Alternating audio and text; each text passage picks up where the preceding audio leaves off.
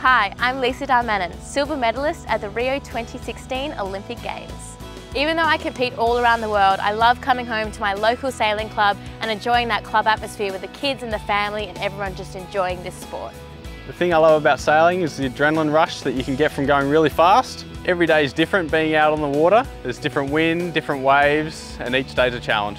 Sailing has a fantastic social element about it. Uh, you're coming off the water, um, there'll be a barbecue on, all eyes on the waterfront, always nice places to be.